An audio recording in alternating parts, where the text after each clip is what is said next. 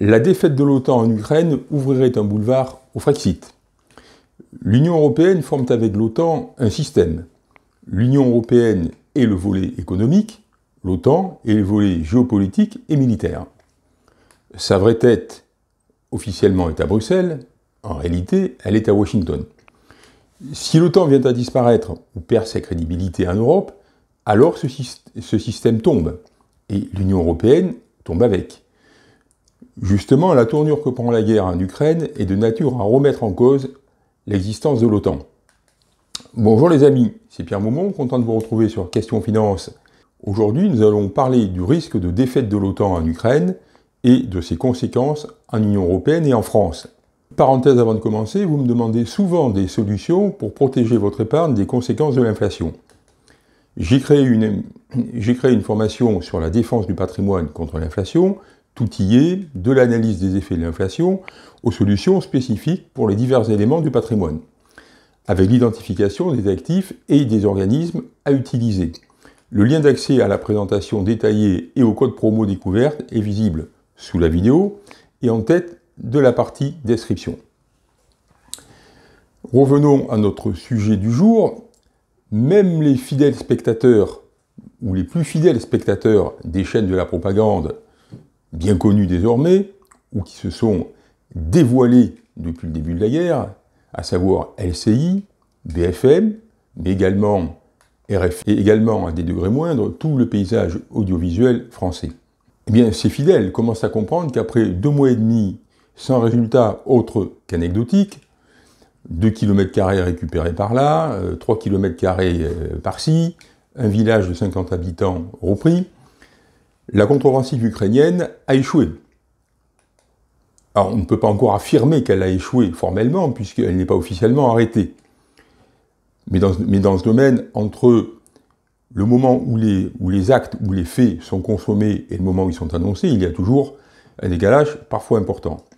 C'est un nouvel échec après ceux de toutes les initiatives de l'armée ukrainienne depuis sa contre-offensive réussie de l'été 2022. Dans la foulée, ils comprennent aussi que les médias officiels et les militaires de plateau qui annonçaient que cette contre-offensive allait bouter l'armée russe hors d'Ukraine et de Crimée le romanti, et même se sont fichus d'eux, depuis le début de la guerre. Parmi les bonnes feuilles de leurs analyses, on se rappelle de celle du colonel Pierre Servant, il y a cinq mois sur France Info, qui prophétisait, entre guillemets, je le cite, l'effondrement du corps expéditionnaire russe. Dans la vraie vie, sur le champ de bataille, l'évolution des opérations militaires depuis le début 2023, c'est la reprise de contrôle de la guerre par l'armée russe. La prise de Barmout en est le symbole. Cela ne doit rien au hasard, ni à une éventuelle nullité de l'armée ukrainienne, qui au contraire est une armée valeureuse, mais toute la supériorité russe depuis l'automne 2022. La communication officielle en Occident avait dû reconnaître dès la fin 2022 la supériorité massive de l'artillerie russe, pour commencer, Désormais, on commence à mot couvert à dire dans les médias de la propagande otanienne qu'il en est de même pour l'aviation, la défense antiaérienne et la guerre électronique. J'en passe et des meilleurs. Et bien évidemment, euh, les, les, missiles hypersoniques.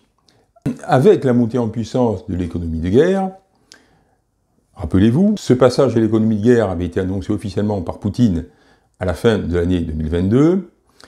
La Russie, désormais, produit plus de blindés qu'elle n'en perd au combat. Pour les munitions, même les militaires de plateau ne demandent pas quand on leur dit que chaque jour, ils sortent davantage d'obus des usines russes que n'en produisent la totalité des pays de l'OTAN en un mois. Depuis la mobilisation partielle de fin 2022, les Russes ont aussi la supériorité numérique. Symétriquement, l'armée ukrainienne s'épuise. L'armement qu'elle reçoit de ses sponsors occidentaux est hétéroclite, confère, rappelez-vous, tout ce qu'on vous a dit, tout le, le, battage que les médias ont fait au sujet de la fourniture des chars allemands, des chars américains, des chars anglais, et puis même de, nos, chars, de nos chars légers euh, AMX-10 RC, euh, qui en l'occurrence s'avèrent dangereux pour les combattants ukrainiens, euh, puisque c'est, je parle des chars à MX-10, mais on peut faire le même type de commentaire euh, d'inadaptation des autres matériels. Euh, donc pour les chars à MX-10, ce sont des, des, armes qui ont été conçues il y a maintenant 60 ans quasiment, qui ont fait leurs preuves dans les déserts africains où l'armée française a été engagée, mais engagée contre qui? Engagée contre des ennemis avec très peu de capacité anti-char, ce qui fait que, eh bien, malgré leur faible blindage, euh, ces, équipements euh, donnaient de bons résultats. Sauf que contre l'armée russe, euh, avec la puissance de feu épouvantable que l'on commence quand même à admettre et à comprendre, côté occidental, il faut autre chose que des boîtes, de conserve munies d'un canon. Voilà pour le tableau strictement militaire. Maintenant, sur le plan diplomatique et de la relation entre le gouvernement ukrainien et les Occidentaux, eh bien, on peut voir, à la lumière de ce qui vient de se passer il y a quelques semaines, malgré les efforts et les sacrifices ukrainiens, le président Zelensky a pu constater, le mois dernier, donc en l'occurrence au sommet de Vilnius, au sommet de l'OTAN à Vilnius, que les Occidentaux commencent à prendre leur distance. Zelensky demande depuis longtemps une procédure accélérée pour faire entrer l'Ukraine dans l'OTAN.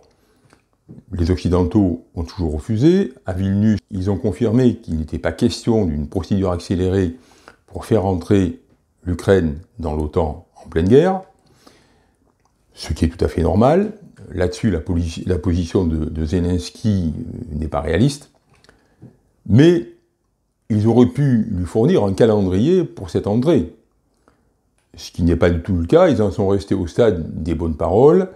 Le discours, c'est on discutera sérieusement de votre entrée dans l'OTAN lorsque la paix sera revenue, euh, toutefois si vous avez gagné la guerre. Ça signifie que les alliés de l'Ukraine, pour ne pas dire ses commanditaires, ce qui serait beaucoup plus proche de la réalité, ont renoncé à faire entrer l'Ukraine un jour dans l'OTAN. Euh, c'est d'ailleurs le moment de se rappeler qu'une condition absolue pour que la paix soit possible avec les Russes est que l'Ukraine ne rentre jamais dans l'OTAN. N'oublions pas que le rapprochement de l'Ukraine avec l'OTAN est une des causes de l'intervention russe du 24 février 2022. Poutine l'avait dit avant, et Poutine l'a rappelé le 24 février 2022, et puis il a eu l'occasion aussi de le rappeler par la suite. Cela dit, la guerre n'est pas finie, et jusqu'au dernier moment, des surprises sont théoriquement possibles. Je n'ai pas fait cette vidéo pour m'auto-proclamer grand devin en ce qui concerne la suite de la guerre. C'est pour ça que je ne m'en tiens qu'aux faits. Et les faits que nous venons de voir, à la lumière des faits que nous, que nous venons de voir, tout se passe comme si l'OTAN avait renoncé à la victoire en Ukraine et pris son parti de l'annexion par la Russie des provinces russophones du pays, de la Crimée, et bien sûr de la neutralisation de l'Ukraine demandée par les Russes, et également de l'acceptation que l'Ukraine ne rentre jamais dans l'OTAN, ce qui semble se dessiner comme je, vous l'ai dit il y a deux minutes. L'échec de la contre-offensive ou de l'offensive euh, ukrainienne, dont les États-Unis disaient qu'elle montrerait, s'ils pouvaient continuer à faire confiance dans les Ukrainiens, leur ouvre grand la porte du lâchage de Kiev et la discussion avec les Russes des conditions de sortie de la guerre. Pour le fond, le tournant de la guerre, c'est que l'OTAN est devenu moins puissant militairement qu'une Russie qui a su renouer avec la guerre industrielle, très officiellement depuis la fin de l'année 2022, en réalité bien avant, puisqu'un un complexe militaro-industriel performant, capable en quelques mois d'exploser sa production de, de, matériel militaire, ça ne s'improvise pas, ça se construit sur plusieurs années, et c'est clairement ce que Poutine a fait en gros sur les 20 dernières années, depuis qu'il est au pouvoir. L'issue de plus en plus probable de cette guerre, c'est la victoire de la puissance industrielle et du contrôle par l'État du complexe militaro-industriel, ce qui est exactement ce qui se passe en Russie, sur des pays désindustrialisés qui ont renoncé au contrôle de leur industrie militaire. C'est ce qui se passe chez nous en Occident. En cela, c'est un événement géopolitique majeur qui ouvre une nouvelle ère.